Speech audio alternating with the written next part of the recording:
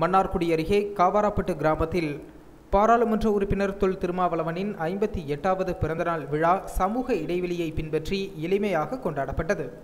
மன்னார்குடி அடுத்துள்ள காவராப்பட்டு கிராமத்தில் ஆதிதிராவிடர் முன்னேற்ற சங்கம் ஆதித்தமிழர் குடியிருப்போர் நல சங்கம் சார்பில் பாராளுமன்ற உறுப்பினர் தொல் திருமாவளவனின் ஐம்பத்தி எட்டாவது பிறந்தநாள் விழா கொண்டாடப்பட்டது.